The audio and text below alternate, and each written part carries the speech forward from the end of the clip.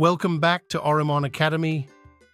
While AI chatbots are fabulous at handling conversations at scale, sometimes your visitors just need that human touch.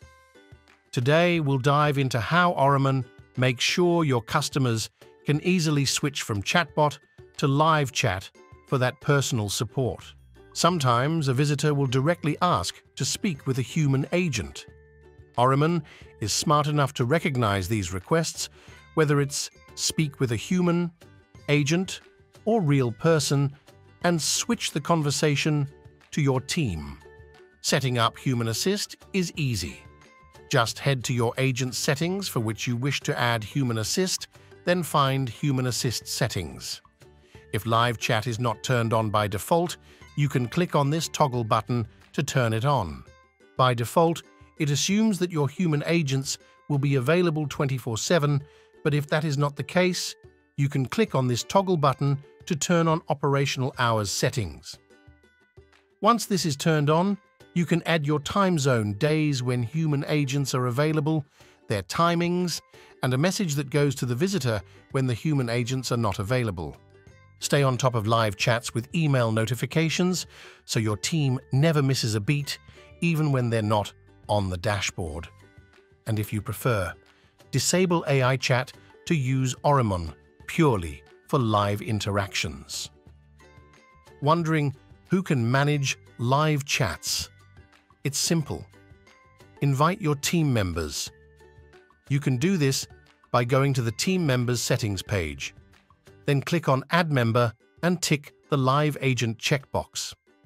As the bot owner, you already have this capability of being a live agent. From the user's side, asking to speak to an agent seamlessly connects them to your team. On the agent's side, you'll see how chats enter the queue and how you can jump in to help. To see the visitors waiting to speak to an agent, go to your AI agent settings and click on Live Chats.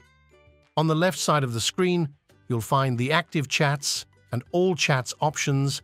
You can toggle between them to see all chats or the ones that are active right now. In the Active Chats, you can see all the visitors who are waiting to speak to a human agent. Once a human agent responds to a chat, the AI agent will not respond to the messages till the human agent has resolved the chat. Orimon doesn't just make live chats easy, it also provides valuable insights. To check the performance of your AI agent, head to your AI agent settings and then Dashboard.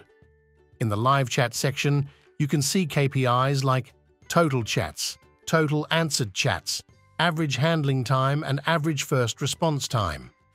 If your total chats and total answered chats are not the same, this means your team of human agents is not responding to all the requests, and you should check in with your team while you strive to reduce the average first response time as much as you can. Orimon bridges AI efficiency with the invaluable human touch, creating a customer engagement that's truly the best of both worlds. Ready to engage all your visitors every time they visit your website? Orimon is here to help. Explore more about blending AI and live chat at Orimon Academy. Continue watching this series to become a power user of Orimon AI.